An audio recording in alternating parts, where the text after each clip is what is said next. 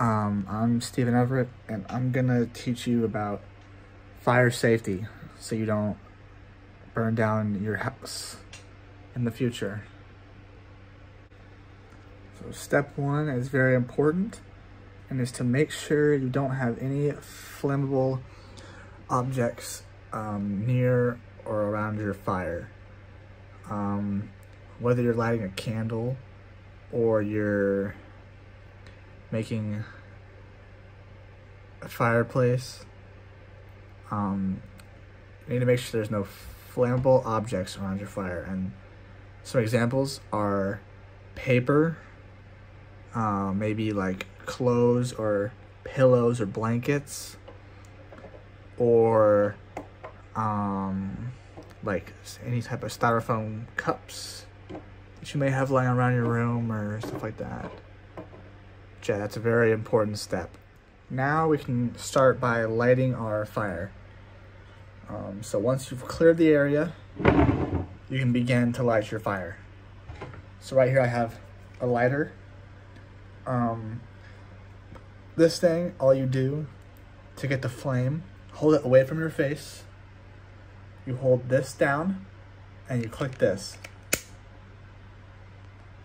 And then with being very careful, get it. And you hold it on the fire and you let go.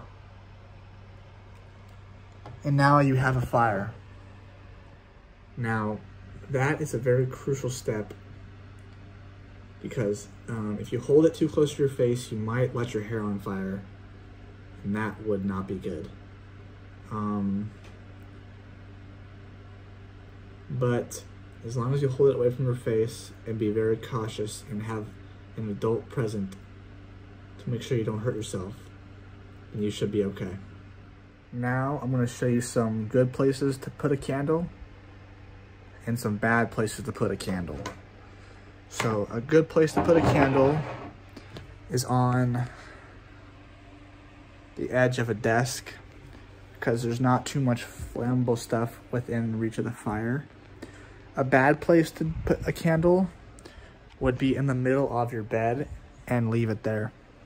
Um, that would probably cause a fire. Um, another bad place to put a candle would be uh, inside your hamper because there's a lot of loose clothes and stuff, which could cause a fire and would burn your house down and you would have nowhere to live. Um, here's a rule that I like to follow when I have candles active in the house. Um, the rule is, is that if you can't see the candle and you're going to be gone for more than a few minutes, you should blow it out. Um, it's not worth you know, going a run to HEB and leaving a candle on, even in a safe spot, you never know. A cat could come over and knock it over or something, and you would burn your house down. It's always safer just to blow it out and then relight it once you can see the candle at all times. So here's an example. I'm gonna go fill up my Fortnite cup with water because I'm thirsty, and I might go eat some dinner but I have a candle here with no hazards, but I'm still gonna blow it out because it's better to be safe than sorry. I'm back.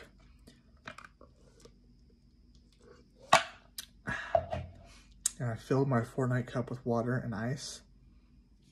And now I'm just gonna be hanging out in my room. So I'm gonna light the candle again. Remember, hold it away from your face, and then be ultra careful. Careful. Careful.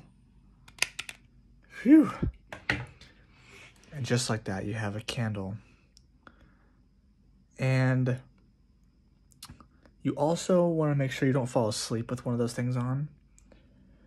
Um, for obvious reasons, but um, you know, houses burn down a lot more than you think because of candles that people forget to to um blow out. Also, if you're gonna be lighting a candle with a match, because you know these are pretty fancy, I wouldn't be surprised if you didn't have one.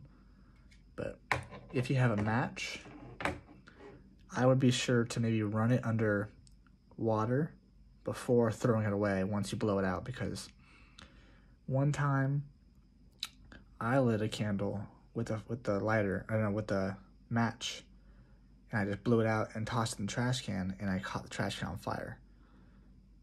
So you want to make sure to run it under some water and then put it in the trash can just to be sure you don't burn your house down. So I got some matchsticks.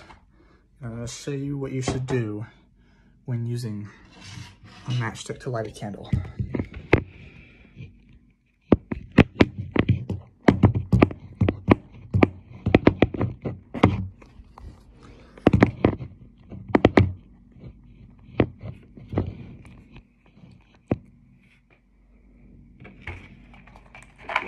First, get one out. Then, go to one of the sides, this thing.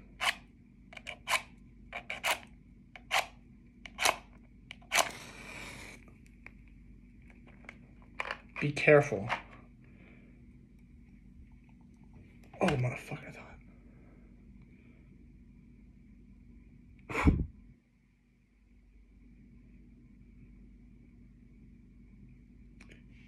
Um, these are pretty small, so it's hard to get down in there, but let's just say I lit it. And then I'm gonna throw this away. But first, I'm gonna go over here.